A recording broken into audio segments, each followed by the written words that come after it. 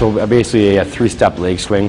The three steps is just pacing it out a little bit, and you're taking a, you're swinging your leg, and, and not just lifting, it, but swinging your leg from behind the behind the hips, up and across your body, and uh, and you're stretching. Obviously, you're stretching through the hamstring. You're stretching some muscles through your hip as well, and low back.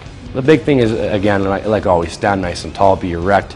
Use your opposite hand uh, at at least shoulder height or higher as a, a point of target. You want to have something to swing your leg up to, and it gives you a bit of a target to try to raise raise the bar a little bit. And just make sure that instead of you're not lifting the leg, you're actually swinging it. So using a bit of momentum.